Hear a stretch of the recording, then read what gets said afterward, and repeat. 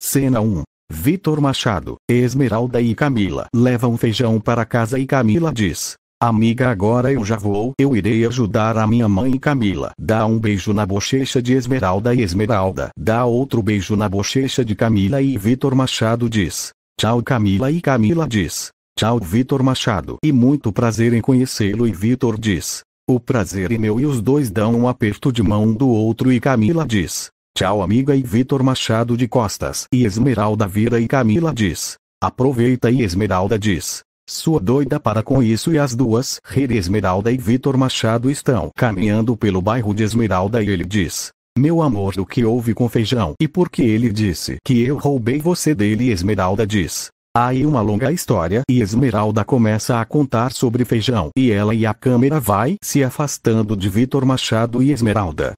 Cena 2 na empresa de Diva ela fica delirando e dançando pensando em Vitor Machado e Jéssica bate quatro vezes na sala da presidência. E ela entra e vê Diva dançando e Diva dançando vê Jéssica e desliga a música e diz, você não sabe bater na porta não e sua empregada de quinta e Jéssica diz, eu bati quatro vezes mas a senhora estava muito ocupada e Diva diz, deixa de ser sarcástica senão eu te demito e Jéssica diz, Desculpa senhora diva só vim trazer uma notícia pois o empresário Vitor Machado irá comparecer na reunião na próxima semana e diva diz. É mais só uma coisa. Cadê a Cecília ela que irresponsável pela minha agenda e Jéssica diz. Bom ela saiu e disse que a senhora liberou ela e diva diz. Mais e uma vaca mesmo bicha folgada a câmera foca em diva e logo após passa milhares de notas de dinheiro na tela encerramento do capítulo 19.